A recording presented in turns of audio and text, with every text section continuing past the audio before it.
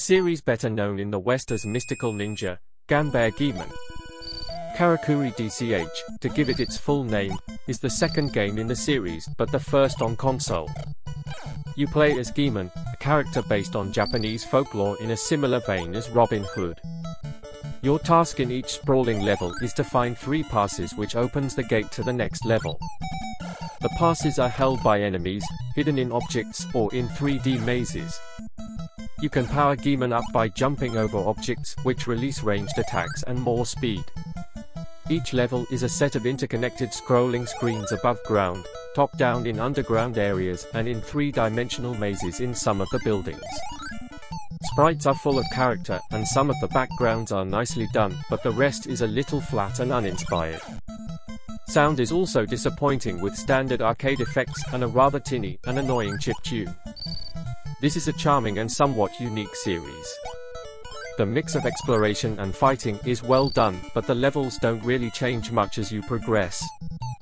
Still, title that was thinking outside the box and would lean even further into the mix on subsequent titles, this is fun to play and should have seen a release outside of Japan.